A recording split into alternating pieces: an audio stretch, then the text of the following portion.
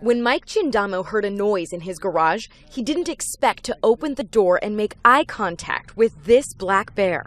Basically, what happened is I, I said to my wife, Why did you leave the freezer door open? And just as I said that, he was on this side and he stood up, and, and it was absurdly huge. But what really surprised Mike is what the bear decided to eat. Ignored everything. There's a lot of fish in here.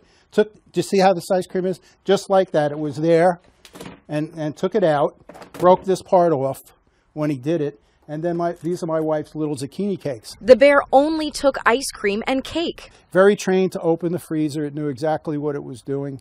And, and what amazed me most, matter of fact, this is what a Talenti ice cream comes in. It's this type of container.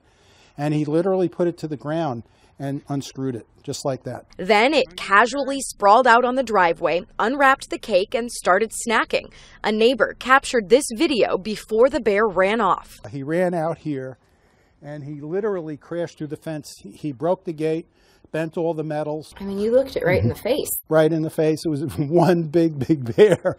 Wasn't aggressive, didn't growl, just was going like, you know, I'm getting my ice cream and cake, and that's it.